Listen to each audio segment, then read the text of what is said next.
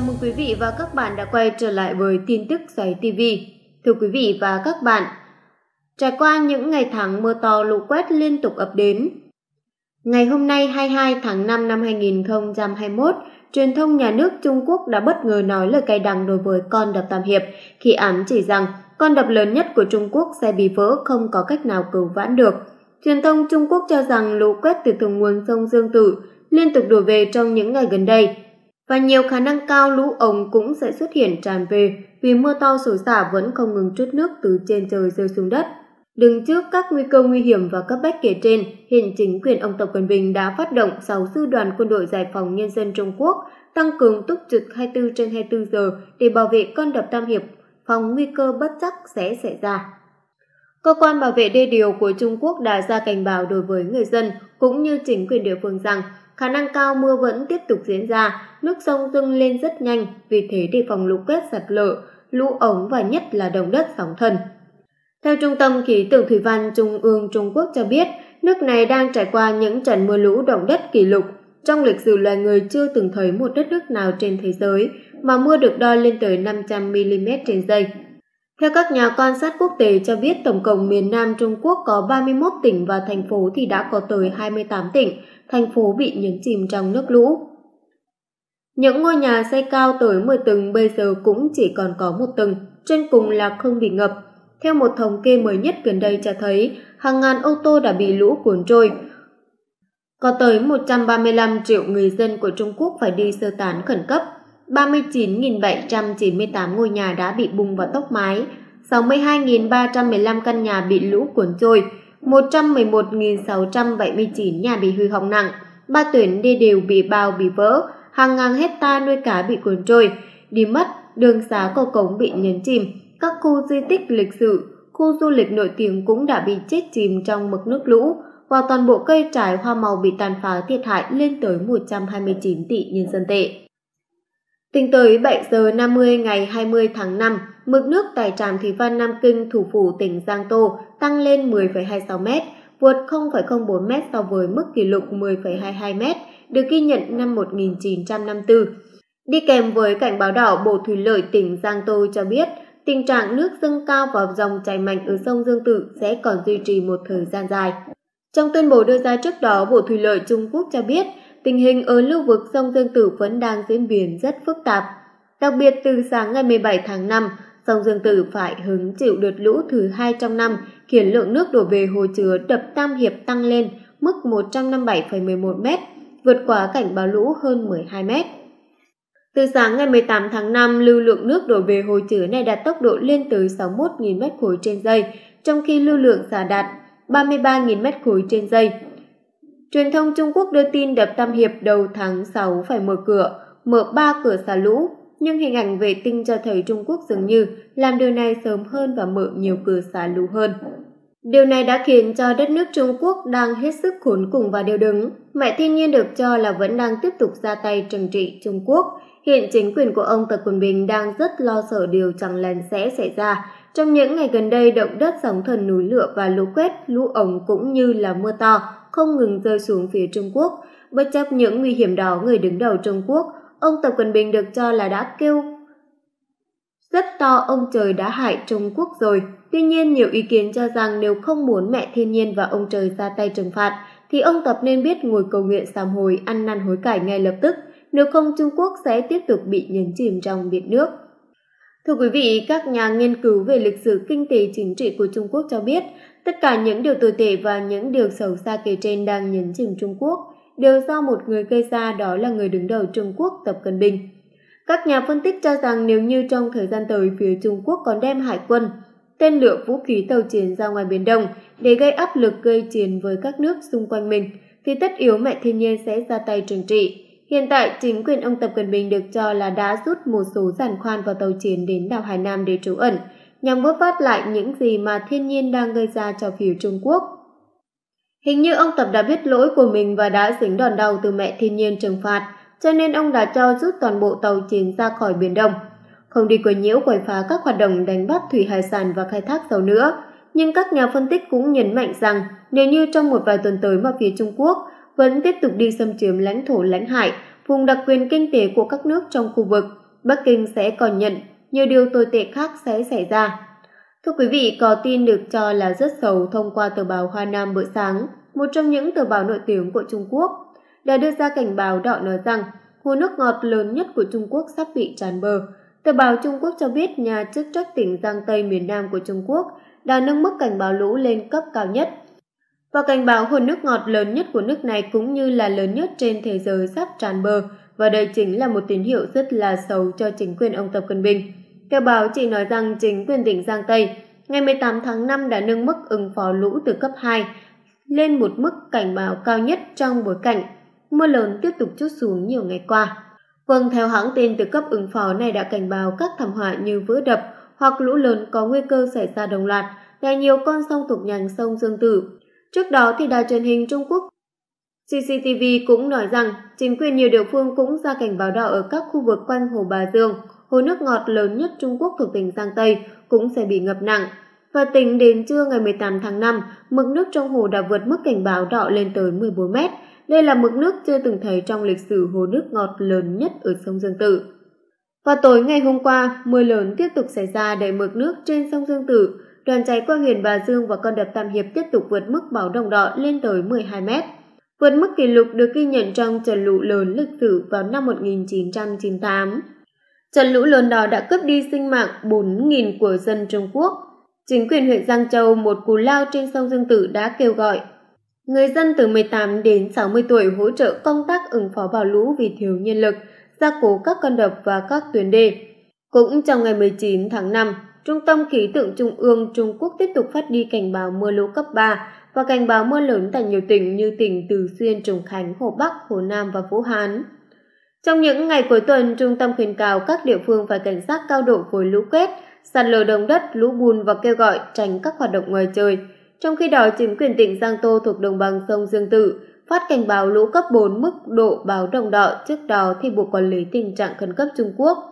Ngày 18 tháng 5 cho hay đã có tới 241 người chết và mất tích, 80,2 triệu người đã bị ảnh hưởng do lũ lụt ở 27 khu cấp tỉnh, hơn 1,7 triệu người phải sơ tán khẩn cấp, 22.000 ngôi nhà đã bị đánh sập với mức thiệt hại trực tiếp, kinh tế lên tới 105 tỷ nhân dân tệ, tương ứng với cả 11 tỷ đô la Mỹ và đây là một trong những con số thiệt hại khủng khiếp nhất trong lịch sử khi bị thiên nhiên tàn phá. Nhiều ý kiến cho rằng trong những ngày cuối tháng 5 và đầu tháng 6, lượng mưa to đến rất to còn ảnh hưởng trực tiếp tới 31 tỉnh thành phố của Trung Quốc. Tờ báo quốc tế cho biết đợt mưa to mới gây thêm lũ lụt dọc con sông Dương Tử, nơi đợt tâm hiệp chắn ngang khiến hàng trăm ngàn người phải sơ tán khẩn cấp. Ở hai tỉnh An Huy và Giang Tây, cụ thể đợt mưa lũ mới đã buộc 547.000 người ở tỉnh An Huy phải sơ tán và khiến hơn 25.000 ngôi nhà bị hư hỏng.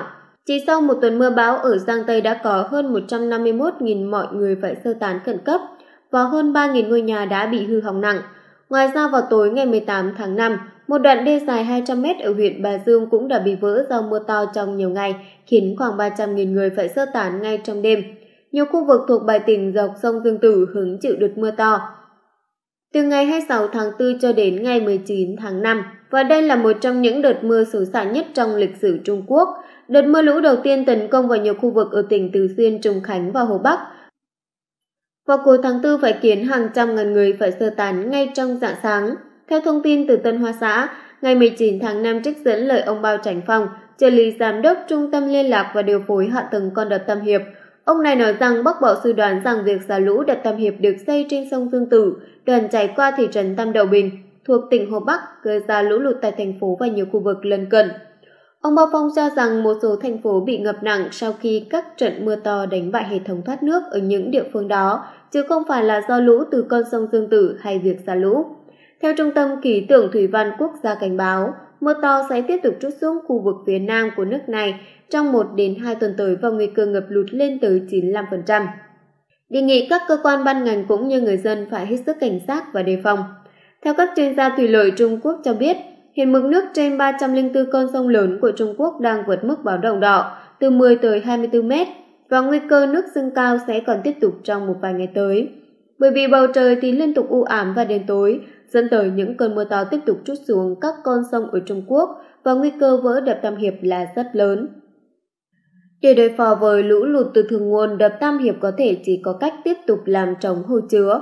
Vào lúc 9 giờ, ngày 20 tháng 5, dòng chảy của hồ chứa Tam Hiệp là 45.800 m khối mỗi giây, tăng 2.500 m khối mỗi giây so với thời điểm 20 giờ ngày 19 tháng 5. Trong khi đó, mực nước ở hồ chứa Tam Hiệp là 159,02 m, thấp hơn 1 m so với ngày hôm trước. Nghĩa là đã có quá trình xả nước mạnh ở Tam Hiệp.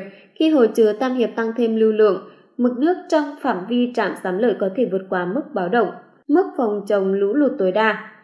Và đê Kinh Giang sẽ giữ mực nước cao trong một thời gian dài. Theo báo cáo chính thức từ tài khoản Weibo của Nhật báo Hồ Bắc, hiện tại đê Kinh Giang sau một thời gian dài giữ mực nước cao đang có nguy cơ gặp nguy hiểm. Tỉnh Hồ Bắc nằm ở Hà Lưu đập Tam Hiệp, mặc dù mực nước của các sông và hồ nhỏ trong tỉnh đang rút dần, năm hồ lớn và các sông nhỏ sẽ vẫn phải đối diện với nguy cơ bất cứ lúc nào Chính quyền Trung Quốc tuyên bố bỏ gia đình nhỏ bảo vệ cộng đồng để bảo vệ sự an toàn của đập Tam Hiệp và các thành phố lớn ở giữa và hạ lưu sông Dương Tử. Nên ở các tỉnh Giang Tây và An Huy đê và đập đã được gỡ bớt hoặc cho nổ để xả lũ. Hàng trăm ngàn ngôi nhà của người dân bị ngập lụt và một số lượng lớn nạn nhân phải di rời cùng gia đình của mình. An Huy là nơi bị ngập lụt nghiêm trọng do xả lũ để vào các vùng trữ nước để cứu thành thị. Chủ đề trong miếu tự ở Sào Hồ, An Huy bị ngập lụt đăng trên Sina Trong phần giới thiệu vẫn nói tình cảnh khá nên thơ, quan sát như một chiếc thuyền nổi trên mặt hồ, bị người dân phản đối. Ngay sau đó chủ đề này biến mất khỏi danh sách tìm kiếm nóng cha đẻ của đập Tam Hiệp vừa mất. Còn con đập có thể gắng gượng được bao lâu? Người cha đẻ của đập Tam Hiệp ngày 24 tháng 4 đã qua đời vì bệnh nặng, còn đập Tam Hiệp, di sản do ông để lại vẫn là chủ đề gây tranh cãi không thôi. Trình Thù Nhân, kỹ sư thiết kế đập Tam Hiệp và là viện sĩ của Học viện Kỹ thuật Trung Quốc, người được mệnh danh là người cha đẻ của đập Tam Hiệp. Vào ngày 24 tháng 4 đã qua đời vì bệnh nặng, còn đập Tam Hiệp di sản do ông để lại vẫn là chủ đề tranh cãi. Theo thông tin tổng hợp từ các phương tiện truyền thông Trung Quốc, ông Trịnh Thủ Nhân đã qua đời vì bệnh nặng tại Vũ Hán. Tuy nhiên, trong báo cáo lại không chỉ ra ông qua đời vì căn bệnh gì. Ông Trịnh Thủ Nhân sinh vào tháng 1 năm 1940 tại huyện Dĩnh Thường tỉnh An Huy, bắt đầu chịu trách nhiệm thiết kế dự án đập Tam Hiệp vào năm 1994. Từ năm 1994 đến năm 2017, ông Trình Thủ Nhân từng đảm nhiệm kỹ sư trưởng của Ủy ban Tài nguyên nước sông Dương Tử và giám đốc của văn phòng đại diện thiết kế dự án đập Tam Hiệp. Thời điểm ông Trình Thủ Nhân qua đời tại trùng thời điểm miền Đông Nam Trung Quốc lũ lụt lan tràn và trận lũ thứ ba trên sông Dương Tử đang gần kề.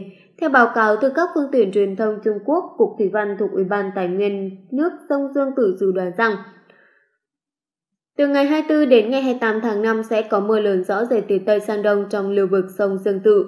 Cơ quan phòng chống lũ lụt bão và hạn hán tỉnh Hồ Bắc và Cục Kiểm soát lũ Hồ Bắc sau khi tổng hợp tình thế trước mắt nhận định rằng trận mưa lớn gần đây ở thượng nguồn sông Dương Tử đang hình thành trận lũ số 3 trên sông Dương Tử. Theo nguồn tin từ phía chính quyền địa phương, đập Tam Hiệp dự kiến sẽ đón trận lũ số 3 trên sông Dương Tử. Vào ngày 27 tháng 5, lưu lượng đỉnh lũ dự kiến sẽ vượt qua mức 60.000 mét khối trên giây. Từ trước đến nay, tính an toàn của đập Tam Hiệp, một thiết kế do ông Trịnh Thủ Nhân để lại, luôn là vấn đề gây tranh cãi của các chuyên gia cả trong và ngoài nước. Chỉ một tuần trước cái chết của viện sĩ Trịnh, truyền thông chính thức của Đảng Cộng sản Trung Quốc đã thừa nhận rằng đập Tam Hiệp đã có hiện tượng dịch chuyển do dị và biến dạng. Báo cáo không tiết lộ dữ liệu chi tiết của các mục một cách cụ thể, mà chỉ gói gọn rằng con đập vẫn đang trong phạm vi an toàn, đồng thời nhấn mạnh rằng các cấu trúc giữ nước của con đập vẫn đang ở mức ổn định và an toàn. Vào ngày 20 tháng 5, một đoạn video có tiêu đề diễn thử sự cố vỡ đập Tam Hiệp đã được lan truyền rộng rãi trên Internet. Theo giới thiệu của video, dựa theo dữ liệu phân tích, nếu đập Tam Hiệp bị vỡ, mực nước lũ cao gần 100 mét nhanh chóng được xả. Do sự ngăn chặn của các ngọn núi ở hai bên bờ sông, nhưng không thể phân tán lũ được, lũ được xả ra sẽ vượt quá 100 km/h trong vòng 30 phút sau khi vỡ đập. Trận lũ sẽ phá hủy đập Cát Châu và đến khu vực đô thị Nghi Sương chỉ cách 50 km đường sông với đập Tam Hiệp. Trận lũ cao 20 m sẽ phá hủy Nghi Sương với tốc độ dòng chảy 70 km/h. Trong vòng 5 giờ mực nước ở Nghi Sương sẽ cao tới 10m. Sau khi lũ qua Nghi Sương, nó sẽ tiếp tục tiến dọc theo dòng sông, làm ngập các thành phố và thị trấn dọc theo con đường với tốc độ trên 60 km/h. Chiều cao của lũ là khoảng 15 đến 20 mét. Sau khi lũ lụt làm ngập huyện Nghi Đô, nó sẽ tràn tới vùng núi, đến vùng đồng bằng rộng lớn và tiến tiếp theo hình quạt. Khu vực bị ảnh hưởng sẽ tăng lên rất nhiều. Video này khiến cư dân mạng không khỏi chấn động. Một nhân viên phòng chống lũ ở tuyến đầu tỉnh An Huy sau khi xem xong video đã bày tỏ với trang Sharport trong một cuộc phỏng vấn rằng video này đang được lưu truyền trên mạng Internet. Sau khi xem video này, ông chắc chắn rằng nó do một tổ chức chính thức hay cá nhân nào làm. Tuy nhiên, ông cho rằng đây có thể là một mô phỏng của một tổ chức bán chính thức. Một video diễn thử chuyên nghiệp như vậy không thể do người bình thường thực hiện. Nhưng tại sao nó lại được đưa ra và lưu hành trên mạng Internet vào thời điểm này? Ông cảm thấy điều này là có mục đích và không biết liệu có phải đập Tam Hiệp đã xảy ra chuyện gì không. Trước đó, hôm 12 tháng 5, trang NetEase của Trung Quốc đã đưa tin về tình hình lũ lụt ở khu vực đập Tam Hiệp rằng đập Tam Hiệp đã cố gắng hết sức xin vui lòng ngừng lên án nó.